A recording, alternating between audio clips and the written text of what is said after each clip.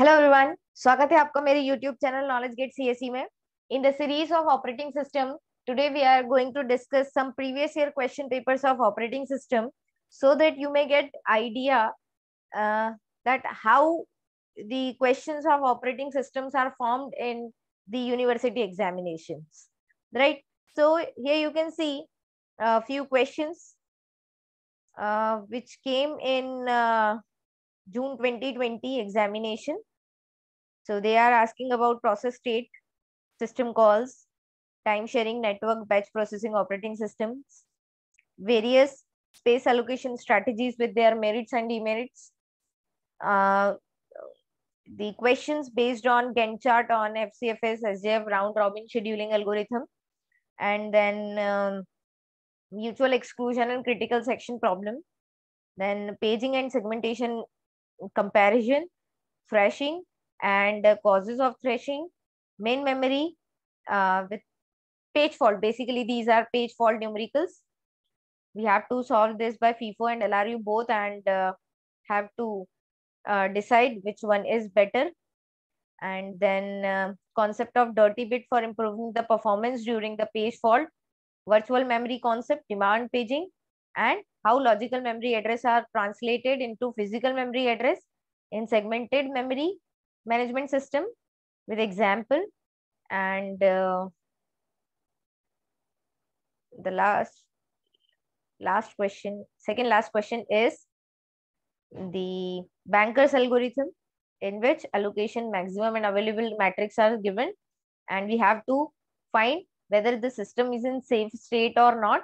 And uh, we need to find the need matrix also right? Next is semaphore its uses and its implementation. Short note on rpc worms and viruses. So this was all about the questions asked in uh, june 2020 examination. Let us heading towards uh, november 2019 question paper. So it is again asking for system calls various types various services provided by operating systems, file and different types of file attributes and operations. What are the points to be considered in file system design? Explain linked list allocation in detail. Next, they are asking about process control block, where it is used and what are its contents. Then it is asking for, again, page replacement policy, FIFO and LRU Next, real and virtual concurrency, critical section, mutual exclusion, IO interfaces. Then uh, a question based on uh, paging in which we have to find number of bits for logical addresses. Next question is binary and counting semaphores, necessary condition for deadlock situation, and a few short notes. Right. So this is all about uh, the questions asked in 2019 examination. Next is May 2019. They are asking about operating system. What is operating system and desirable characteristics. Different types of operating system with example of each. Then discuss the advantages and disadvantages of the buffer cache, process and thread, disk scheduling.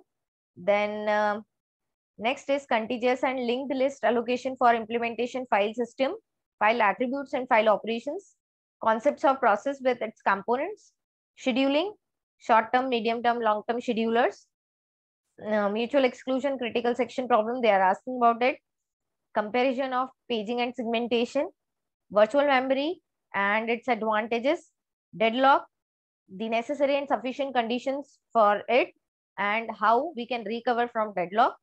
Write a semaphore solution for dining philosopher problem. And uh, next is features of multiprocessor operating system some short next uh, uh, this is the question paper of december 2015 uh, in which this is a very old question paper uh, so it might be possible that few of the topics have been removed from your syllabus they're asking about bare machines purpose of system calls time sharing operating system difference from batch operating system. uh, they are asking types of operating system and different structures of operating system with advantages and disadvantages. Disk reliability, free space management, file system in Windows and Linux, various methods of accessing files with example, deadlock, process control block, hard and soft semaphore, threads, recovery from deadlock, thrashing, paging and segmentation comparison, difference between external and internal fragmentation, what advantages does segmentation offer over multiple variable partition, cache memory organization, parallel processing, distributed shared memory, RPC, etc. Uh, next, uh, this is the question paper of 2016 in which they are asking about batch and time sharing operating system, difference among short-term, lot, long-term, medium-term schedulers, file allocation and access methods. Uh, we have to compare all the methods with advantages and dis disadvantages. File directory system, one level, two level, three level, uh, one level, two level, three level uh, directories. And then um, uh, we have to solve uh, scheduling algorithm FCFS SJF round robin based on the following data. Next is mutual exclusion critical section problem, semaphore, solution for dining philosopher problem, deadlock, and then um, the banker's algorithm, page replacement policy, and thrashing.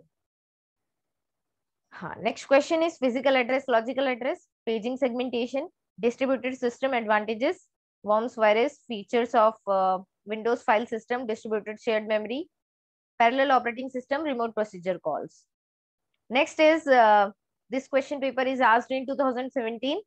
So again, this is asking about operating system services, system calls, uh, various ways of free space management.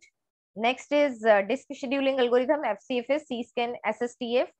Then uh, next is uh, again CPU scheduling algorithm, FCFS, SJF.